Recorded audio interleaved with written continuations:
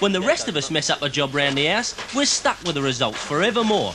That's exactly what happened to Ross Decent of Stanmore. Ross's masterpiece is his bathroom, and everything in it is his own work. Still, he's the first to admit he's not perfect. Ross, I've heard your bathroom ain't too sturdy, but it looks fair enough to me, especially.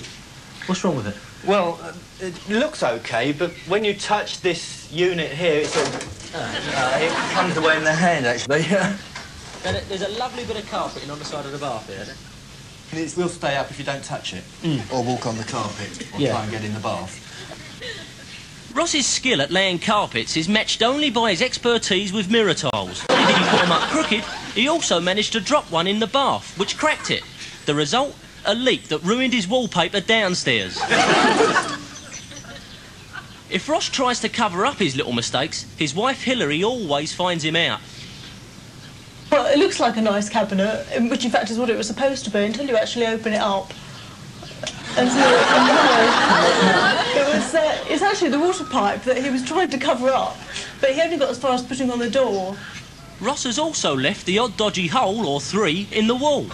And the bathroom heater, which he put on upside down, is a little bit shaky. He also managed to break the toilet seat. But at the end of the day, Ross is still quite proud of his handiwork. It looks great to me. Anything it does, I don't know what the wife's going on about.